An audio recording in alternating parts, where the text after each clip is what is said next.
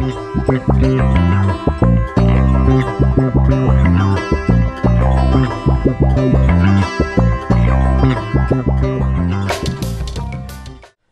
সবাইকে প্রীতি ও শুভেচ্ছা জানিয়ে শুরু করছি অকে ওয়ান ডট টিভির নিয়মিত আয়োজন, উন্নয়নের বাংলাদেশ।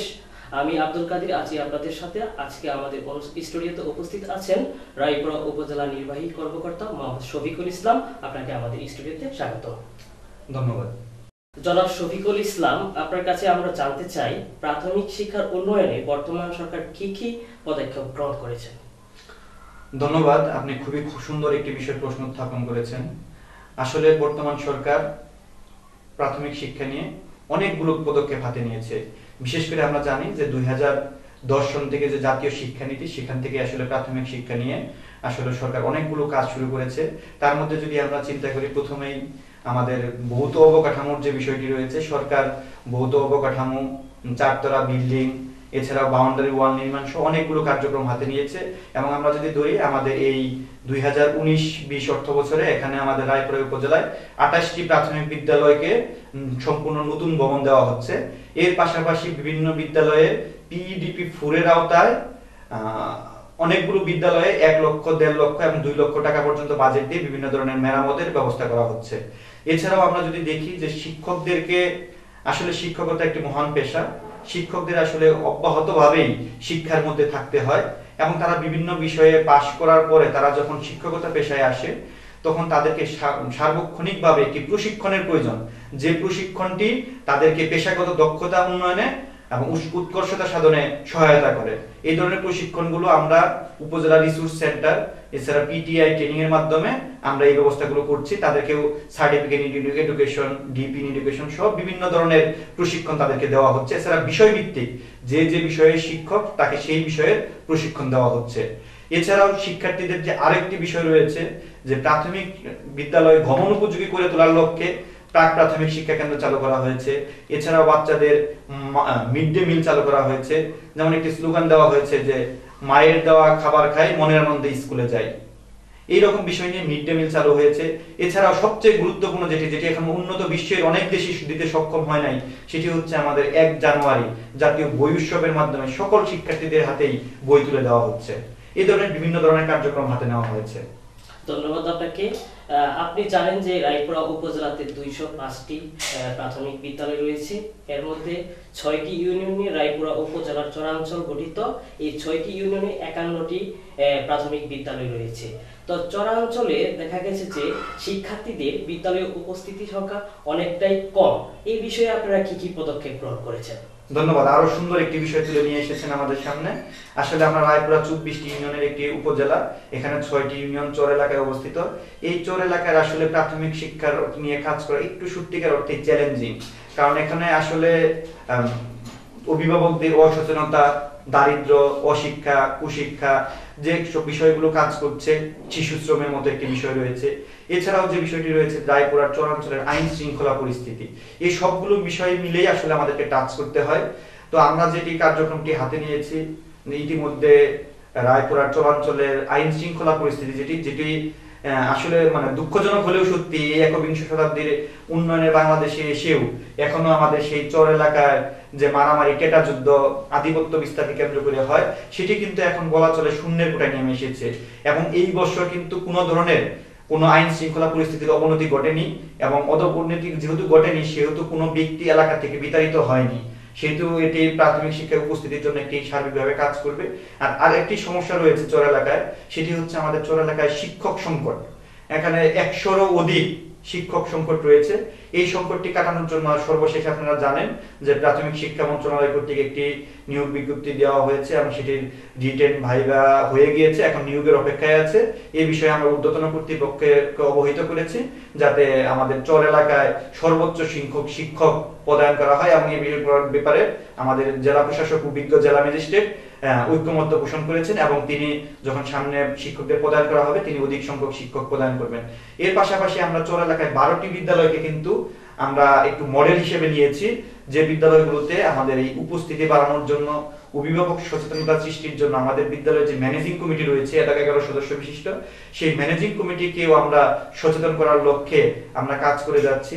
এছাড়াও আমরা তাদেরকে সাংস্কৃতিক এবং সংস্কৃতি মনা অন্যান্য কর্মকাণ্ডে খেলাধুলায় উৎসাহী করার জন্য আমরা কাজ করে যাচ্ছি এবং সেখানেও কিন্তু মিড ডে মিল কার্যক্রম চালু করা হয়েছে এবং সেখানে কিন্তু মানে আমি নিজেই সেই মিড ডে মিল শিক্ষার্থীদের সাথে একসাথে খেয়ে এসেছি তাদের শিক্ষকরাও এতে অনুপ্রাণিত হয় শিক্ষার্থীরা অনুপ্রাণিত হয়। এবং অন্যান্য বিষয়গুলো যাতে সুন্দরভাবে প্রাথমিক শিক্ষাটা এগিয়ে চলে সেই লক্ষ্যে আমরা কাজ করে যাচ্ছি। আপনারা তো সাম্প্রতিক চরাঞ্চলে যে প্রাইমারি স্কুলের যে শিক্ষক তাদেরকে নিয়ে এবং রায়পুরা উপজেলার শিক্ষা কর্মকর্তাকে নিয়ে আপনি একটি মত বিনিময় করেছেন চরে। তো ওইখানে আপনাদের আসলে কি কি বিষয় নিয়ে আলাপ হয়েছে? ওখানে আসলে মত বিনিময় সভায় আমরা বিভিন্ন ভাবে আমাদের প্রত্যেক মাসে প্রধান শিক্ষকদের নিয়ে একটি মত বিনিময় সভা হয়। আমি মনে করেছি যে শুধুমাত্র প্রধান শিক্ষকদের বললেই চলবে না। এর পাশাপাশি আমাদের সহকারী শিক্ষক যারা আছে, তাদেরকে নিয়েও আলোচনা করতে হবে। সেই ক্ষেত্রে আমরা উপজেলা শিক্ষক অফিসার সহ আমরা চর এলাকায় গিয়েছি। সেখানে চর এলাকায় মানসম্মত শিক্ষা নিশ্চিত করার লক্ষ্যে আমরা তাদের সাথে আলোচনা করেছি।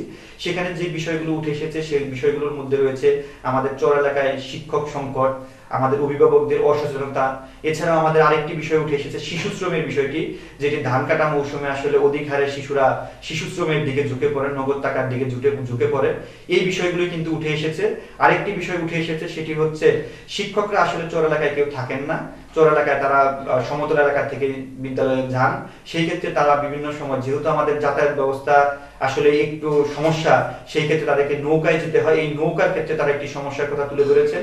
আমরা কিন্তু এই সমস্যাগুলো নিয়ে কাজ করে যাচ্ছি এবং ইতিমধ্যে কিন্তু একটি নৌকা অ্যাসাইন করা দেওয়া হয়েছে, যেটি আসলে শিক্ষকদেরকে নিবে।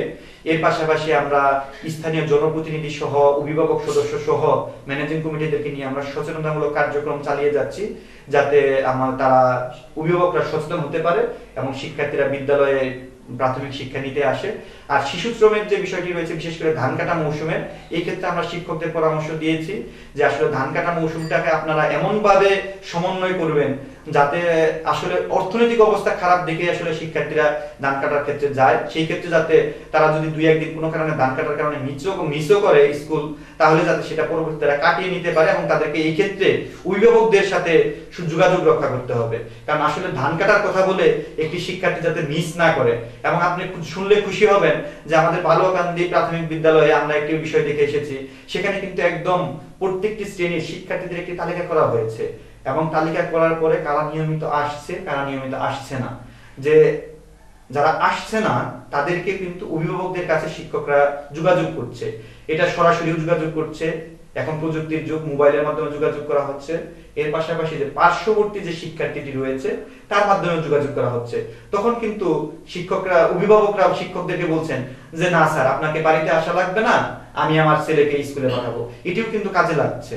এবং আরও শুনে খুশি হবেন যে, আমাদের চোর এলাকায় মানসম্মত প্রাথমিক শিক্ষা নিশ্চিত করানোর জন্য যে, এখন আসলে আমরা প্রায় পত্রিকায় দেখি যে শিক্ষার্থীরা আসলে রিডিং করতে পারে না, বাংলা পড়তে পারে না, ইংরেজি পড়তে পারে না। কিন্তু প্রত্যেকটি বিদ্যালয়ে কিন্তু এখন এইরকম একটি নির্দেশনা দেওয়া হয়েছে যে তারা কিন্তু এখন কারা সাবলীল ভাবে বাংলায় বলতে পারে, ইংরেজি বলতে পারে, কাদের কিছু সমস্যা হয়, কারা বলতে পারে না, এই বিষয়গুলো কিন্তু তারা তালিকা তৈরি করা হচ্ছে। এবং তারা কিন্তু ওই তালিকা দেখে অন্যান্য শিক্ষার্থীকে, মেধাবী শিক্ষার্থীর কাজে লাগিয়ে তারা কিন্তু ওই শিক্ষার্থীদেরকে সামনের দিকে এগিয়ে নিয়ে আসছে। এবং অনেকেরই কিন্তু এতে উন্নতি হয়েছে। যারা একদমই বলতে পারতো না, তারা এখন কিছুটা বলতে পারে। আর যারা কিছুটা বলতে পারতো, তারা কিন্তু এখন সাবলীল ভাবে বলতে পারে। এই ধরনের কিন্তু শিক্ষকরা উদ্যোগ নিয়েছেন এবং আমরা বারোটি বিদ্যালয় আমরা সরাসরি মনিটরিং করছি। এর পাশাপাশি আপনি জানেন যে আমাদের বিভিন্ন দপ্তরের কর্মকর্তাগণ রয়েছেন। তারা কিন্তু প্রায়ই তাদের অফিসিয়াল কাজে বিভিন্ন এলাকায় ভ্রমণ করতে হয় বা ভ্রমণ করেন। সেই ক্ষেত্রে কিন্তু তারা যখন তাদেরকে একটি অফিসিয়ালি আমি চিঠি দিয়ে একটি নির্দেশনা দিয়েছি যে তারা যখন এলাকায় যাবে যে এলাকায় যাবে তার পার্শ্ববর্তী প্রাথমিক বিদ্যালয় হোক মাধ্যমিক বিদ্যালয় হোক তারা যাতে শ্রেণীকক্ষে গিয়ে একটু পরিদর্শন করে আসে শিক্ষার্থীদের সাথে একটি মত বিনিময় করে আসে এবং তারা যাতে শিক্ষকদেরকে প্রয়োজনীয় পরামর্শ দিয়ে আসে এই ধরনের পদক্ষেপগুলো আমরা আমরা আরেকটা জিনিসে চলে আসতে চাই যে আগে কিন্তু কিন্টার গুলোতে প্লে এবং নার্সারিতে মাধ্যমে আসা যাওয়ার মাধ্যমে একটি শিশু তার প্রাথমিক শিক্ষা যে স্তরে প্রবেশ করত। এখন কিন্তু দেখা গেছে প্রাইমারি স্কুলগুলোতেও পাক প্রাথমিক যে শিক্ষা চালু হয়েছে, তো এই শিক্ষার মাধ্যমে কি আপনি মনে করেন যে সরকারি এবং বেসরকারি স্কুলগুলোর মধ্যে যে তাদের শিশুদের যে একটা বৈষম্য, অনেকটা কম- কমিয়ে আসছে? ধন্যবাদ, আপনি খুবই সুন্দর কথা বলেছেন। এটি প্রাক প্রাথমিক শিক্ষা, জাতীয় শিক্ষানীতি দুই হাজার দশের আলোকেই চালু করা হয়েছে। এটি আসলে চার থেকে ছয় বছর বয়সী। বাচ্চাদেরকে বিদ্যালয়ে গমন উপযোগী করার জন্য বিদ্যালয়ের পরিবেশের সাথে প্রতিযোগী প্রয়োজনীয় পরিবেশ সৃষ্টি করার জন্য তারা যারা বিদ্যালয়ে যায়। এই ক্ষেত্রে যে বিষয়টি আমি বলব যে প্রাক প্রাথমিক শিক্ষার প্রত্যেকটি বিদ্যালয়ে একটি কক্ষকে প্রাক প্রাথমিক শিক্ষা কেন্দ্র নামে প্রতিষ্ঠিত করা হয়েছে। সেখানে কিন্তু বাচ্চারা যে ধরনের বিষয়গুলো চায়, যে তারা একটু খেলবে তারা একটু রঙিন একটা জিনিস দেখবে। এই বিষয়গুলোকে কেন্দ্র করে কিন্তু ফোকাস করে কিন্তু প্রাক প্রাথমিক শিক্ষা কেন্দ্র তৈরি করা হচ্ছে। এবং আরও বিষয়টা যে প্রাক প্রাথমিক শিক্ষা কেন্দ্র যেটি যে কক্ষে স্থাপন করা হয়েছে সেখানে কিন্তু গতানুগতিক কোনো বেঞ্চ চেয়ার টেবিল এইগুলো কিন্তু নেই। সেখানে কিন্তু একদম বাচ্চারা খেলাধুলা করবে সেই ধরনের মানে পরিবেশ দেওয়া হয়েছে খেলার চলে তারা হ্যাঁ শিখছে। খেলার ছলে তারা শিখছে। এছাড়াও আরেকটি বিষয় শুনে আপনি আনন্দিত হবেন যে আমাদের রায়পুরায় চব্বিশটি ইউনিয়নের চব্বিশটি বিদ্যালয়ে আমাদের ইউনিয়ন পরিষদের চেয়ারম্যানদের সহযোগিতায় বা স্থানীয় জনপ্রতিনিধিদের সহযোগিতায় আমরা কিন্তু চব্বিশটি বিদ্যালয়ে আমরা ছায়া পরশ নামক একটি অভিভাবক ছাউনি নির্মাণ করেছি যেখানে অনেক সময় অভিভাবকরা যায় কিন্তু অভিভাবকরা আসলে বসার জায়গা পায় না। সেই কারণে অভিভাবক ছাউনির ব্যবস্থা আমরা করেছি।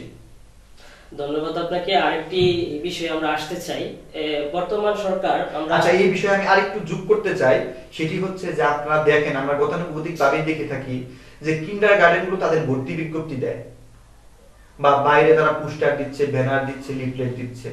কিন্তু এইবারই কিন্তু আমরা চালু করেছি যে আমাদের রায়পুরা প্রত্যেকটি বিদ্যালয়ে আমি আপনাকে দেখাতে পারব, এখন অনেক বিদ্যালয়ে সেটি ঝুলছে যে আমরা যখন শিক্ষাবৃত্তির জন্য, শিক্ষার্থী ভর্তি করার জন্য, তখন সেখানেও কিন্তু আকর্ষণীয় করে একটি ব্যানার বিলবোর্ড লিফলেট ছাপানো হয়েছে। এবং এই বিলবোর্ডে আসলে কেন সরকারি প্রাথমিক বিদ্যালয় করবে, সেই বিষয়গুলো কিন্তু নিয়ে আসা হয়েছে। আমরা আরেকটি গুরুত্বপূর্ণ বিষয় আপনার মাধ্যমে জানতে পারলাম। আরেকটি বিষয় বর্তমান সরকার কিন্তু শিক্ষার পাশাপাশি প্রাথমিক বিদ্যালয়ে যারা অধ্যয়নরত শিক্ষার্থী খেলাধুলার প্রতিও একটা বিশেষ গুরুত্ব দিয়েছেন। এর জন্য কিন্তু দুই সাল থেকে কিন্তু আমরা দেখছি যে স্কুল পর্যায়ে বঙ্গবন্ধু ও বঙ্গমাতা ফুটবল টুর্নামেন্টের আয়োজন করা হয়েছে। আসলে এই জিনিসটা সম্বন্ধে আপনার কাছ থেকে একটু জানতে চাই। আসলে আমাদের শুধুমাত্র পাঠ্যপুস্তকের শিক্ষাই আমাদের যথেষ্ট নয়, আমাদের মানসিক, শারীরিক সহ সকল ধরনের বিকাশের জন্য আসলে আমাদের সংস্কৃতি বা খেলাধুলা এই বিষয়গুলো প্রয়োজন, যেটাকে আমরা সহশিক্ষাক্রমিক কার্যক্রম বলে থাকি। এই সহশিক্ষাক্রমিক কার্যক্রমের আওতায় কিন্তু প্রাথমিক গণশিক্ষা মন্ত্রণালয়, এই বঙ্গবন্ধু ফুটবল টুর্নামেন্ট এবং Bangamata Fazilatunnesa gold cup tournament আয়োজন করা হয়। এটি কিন্তু প্রাথমিক পর্যায়ে, ইউনিয়ন পর্যায়ে, তারপর উপজেলা পর্যায়ে, তারপরে জেলা পর্যায়ে, তারপর বিভাগীয় পর্যায়ে এবং তারপরে জাতীয় পর্যায়ে হচ্ছে। এর মাধ্যমে শিক্ষার্থীরা কিন্তু খেলাধুলার প্রতি যে আকর্ষণ তাদের শারীরিক বিকাশের যে প্রয়োজনীয়তাটি রয়েছে, সেই বিষয়গুলো অনুধাবন করে কিন্তু তারা কিন্তু সহশিক্ষাক্রমিক কার্যক্রমের ক্ষেত্রেও তারা এগিয়ে যাচ্ছে। ধন্যবাদ। আরেকটি প্রশ্ন, প্রাথমিক বিদ্যালয়গুলিতে বর্তমান সরকার সুপেয় পানি এবং স্যানিটেশন ব্যবস্থা জানি নিশ্চিত করেছেন। এটা আসলে কতটুকু তাদের ক্ষেত্রে ব্যবহার করতে পারছে তারা? আর এটার যে একটা পরিষ্কার পরিচ্ছন্নতা থাকা দরকার, এগুলো কতটা ব্যবস্থাপনা কতটা ভালোভাবে হচ্ছে বলে আপনি মনে করেন? আচ্ছা আমি প্রথমেই বলছি পরিষ্কার পরিচ্ছন্নতার বিষয়টি। পরিষ্কার পরিচ্ছন্নতা যদি আমরা বলি, সেটি হচ্ছে ইমানের অঙ্গ। সেই হিসাবে আমাদের প্রত্যেকটি বিদ্যালয়ে বা প্রত্যেকটি শিক্ষার্থীকেই ব্যক্তিগতভাবে পরিষ্কার পরিচ্ছন্নতার প্রতি আকর্ষণ থাকা উচিত। সেই জন্য কিন্তু প্রত্যেকটি বিদ্যালয়েই আমরা সেই ধরনের চিঠি দিয়েছি, তাদেরকে ব্যবস্থা নিতে বলেছি এবং শিক্ষকরা যাতে নিজেরা নিজেদেরকে পরিষ্কার করে দেখিয়ে দেয় যে শিক্ষার্থীরা। এবং আপনি শুনলে অবাক হবেন যে আমি প্রাথমিক বিদ্যালয়ে যখন যাই, আমি কিন্তু তাদের ওয়াশরুমের দিকে একবার হলেও যাই, যে ওয়াশরুমটা দেখে আসি। কারণ ওয়াশরুমটা পরিষ্কার থাকলে বোঝা যাবে যে সেই বিদ্যালয়টি পরিষ্কার থাকে, মাঠ এখন পরিষ্কার থাকে। তো এই বিষয়গুলো কিন্তু তাদেরকে পরিষ্কার পরিচ্ছন্নতার জন্য আমরা সার্বক্ষণিক চিঠি দিয়ে যাচ্ছি বা ব্যবস্থা নিচ্ছি।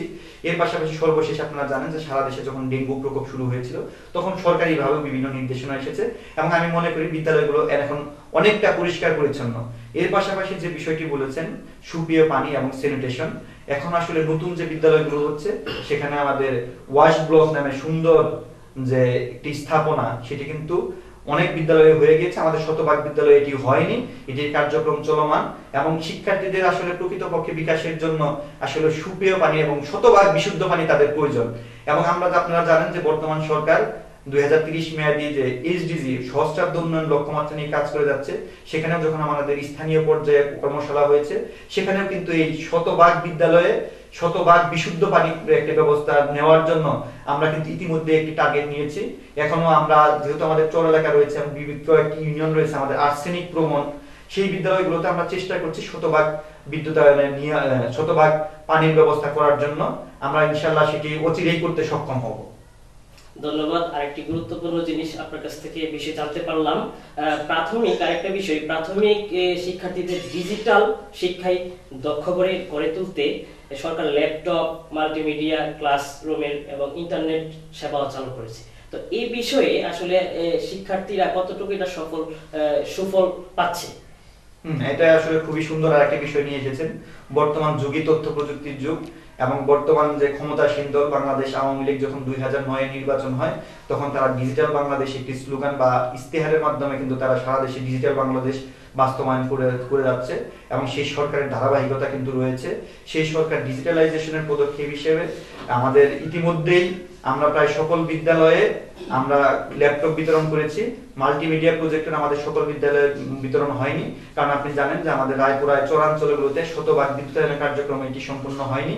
আমাদের এই ডিসেম্বরের মধ্যে শতভাগ বিদ্যুতায়নের যে কার্যক্রম, শেখ হাসিনার উদ্যোগ, ঘরে ঘরে বিদ্যুৎ, সেই কার্যক্রমটি বাস্তবায়ন করার কথা রয়েছে, সে যদি আমরা সেটি করতে পারি, তাহলে আমাদের শতভাগ বিদ্যালয়ে আমরা মাল্টিমিডিয়া প্রজেক্টর দিতে পারব। এই যে মাল্টিমিডিয়া বা ডিজিটাল কন্টেন্ট এর মাধ্যমে কিন্তু আসলে এখন শিক্ষকরা আমাদের কিন্তু এই ডিজিটাল কন্টেন্টের মাধ্যমে মাল্টিমিডিয়া ক্লাসরুম নিয়ে তারা মাল্টিমিডিয়া ক্লাসরুমের মাধ্যমে তারা ক্লাস নিচ্ছে।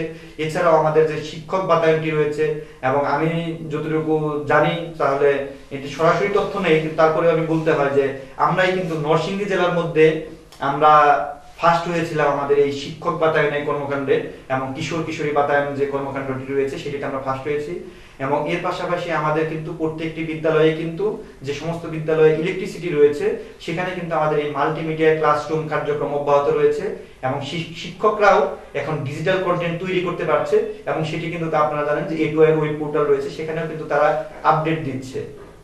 ধন্যবাদ আপনাকে। আমরা অনুষ্ঠানের একদম শেষ পর্যায়ে আপনি দর্শকদের উদ্দেশ্যে কিছু যদি বলতে চান। ধন্যবাদ আপনাকেও। আসলে যে বিষয়টি আমি দর্শকদের উদ্দেশ্যে বলতে চাই, সেই বিষয়টি হচ্ছে আমাদের প্রাথমিক বিদ্যালয়ের মান এখন আগের থেকে অনেক ভালো। আমি সরকার জনগণকে বলতে চাই যে আপনাদের সন্তানদেরকে এখন আপনারা সরকারি প্রাথমিক বিদ্যালয়ে দিলে তারা অনেক বেশি লাভবান হবে প্রাথমিক বিদ্যালয়কে কার্যকর করার জন্য এবং মানসম্মত শিক্ষা প্রদানের জন্য।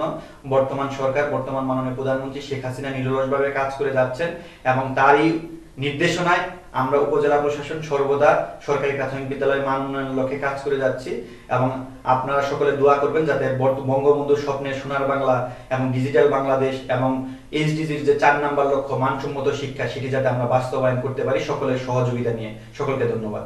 দর্শক, এতক্ষণ আমাদের উন্নয়নের বাংলাদেশ অনুষ্ঠানের সাথে থাকার জন্য অসংখ্য ধন্যবাদ। আমরা আরেকদিন আরেকজন অতিথিকে নিয়ে উপস্থিত হব। সে পর্যন্ত ভালো থাকুন, সুস্থ থাকুন।